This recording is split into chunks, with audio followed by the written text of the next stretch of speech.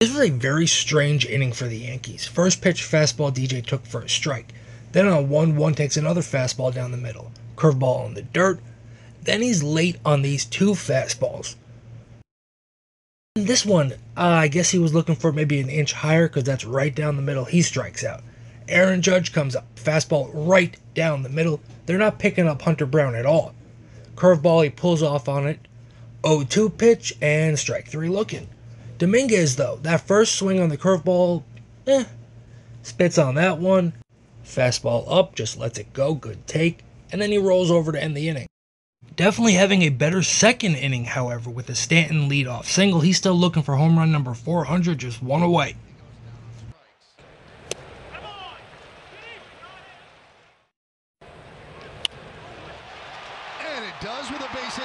Cabrera, a really nice at bat here, takes a ball and walks. You know what? Yankees putting some pressure on Hunter Brown here early. And we saw this the other day too with the Yankees. Good thing for replay, because he was called safe there on that double play. It was obviously overturned. Seven no hit innings and told what the score was. And people were worried about three sitting tonight right over the dugout. That's our inning. That was pretty remarkable. 2-2. Battling Severino. 3-2. High fly ball.